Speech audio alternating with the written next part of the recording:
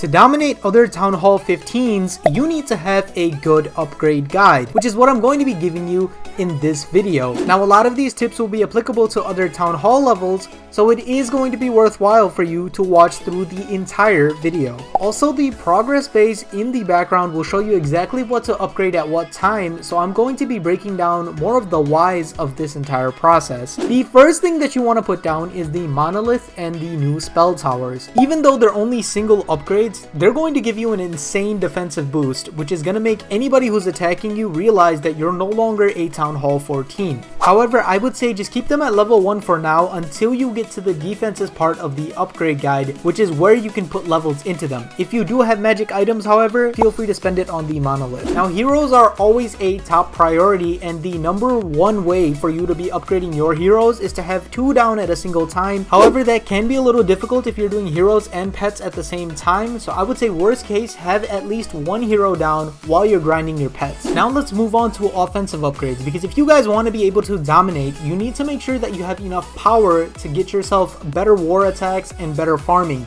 Now the first thing is you want to get your pet house to the max level. If you do this, you'll be able to get access to all of the new pets and the new pets are really really good even at their base levels. You also want to make sure you do your CC, your army camp, and your laboratory. However, only the CC is good magic item value here so I would urge you to not spend magic items on the other ones and to just have to sit through those upgrades. Now we come to the part where a lot of players are going to hate me for saying this but the next thing you want to do is you want to do your storages. Now how is this going to help you dominate? Well the first thing is that obviously you're going to get better rune value, but the other thing that a lot of players don't expect is that you're going to have to farm less to put down really expensive upgrades. Because of this, you can go ahead and focus on your Dark Elixir farming for those early pet levels as well as your hero levels, and that's going to help you to progress through those early levels a lot quicker because you're going to need a lot more Dark Elixir in the beginning. Now, I want to talk about pet house priority, but before we do that, a quick shout out to the members on the channel. Thank you guys so much for supporting the channel. I really appreciate it. And if you're watching this video and you want me to go ahead and take a look at your base and give you a personalized upgrade guide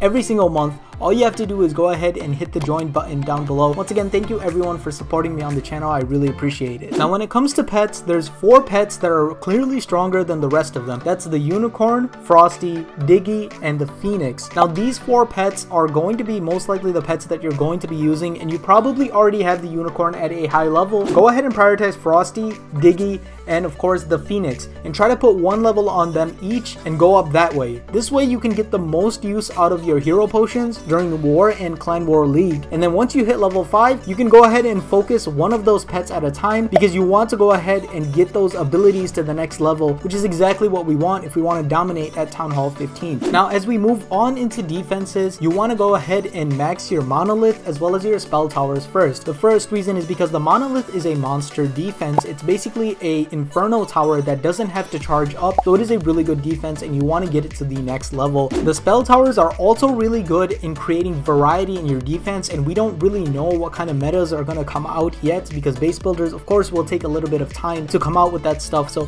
you want to make sure you're ready and you're able to use these new bases as they come out. Next you need to focus on the three core defenses that will actually make a huge difference. Your Town Hall, your Inferno Towers, and your X-Bows. Now the Town Hall itself you probably won't get good magic item value out of. However the Inferno Towers and the X-Bows you will get great magic item value out of. So if you did want to wait until you get magic items for those, that would actually be a really good move for shaving your time to max. If you're already max Town Hall 14, these are the next upgrades that you're going to be doing. Now you'll notice that on my progress base, I have a bunch of defenses that don't have new levels at Town Hall 15. The reason I'm doing this is because if these buildings get brand new levels, they're already put into the order of priority. So if the Eagle gets a brand new le level or the scatter shots, you are going to be doing those before you do your Infernos or your X-Bows. Regardless of that, after you finish the defenses that we have already, you're going to do your air defenses, your wizard towers, your bomb towers in that order, and then you're going to do your archer towers and your cannons. Air defenses first because we want to fight E-Drag spam, wizard towers because they're really good against a lot of group attacks and ground and air, bomb towers really good anti-blizzard, archer towers because they affect both ground and air, and then cannons because they're ground. I would then do the traps, and then after all of that, the mortars if you really feel like it. Honestly, it's completely up to you if you upgrade them or not. Here's the thing, it's not going to make make a difference anyway, so really it's, uh, it's personal preference if you want to waste time on those mortars. Now when it comes to the laboratory, there are a few things that I might prioritize upgrading at Town Hall 15. I think that Electro Titans are pretty strong and I'm still learning how to use them, so I went ahead and put a level on those. Also your Barbarian and your Archers because you do want to increase your King and your Queen strength. Other than that, it's really up to personal preference. However, I will say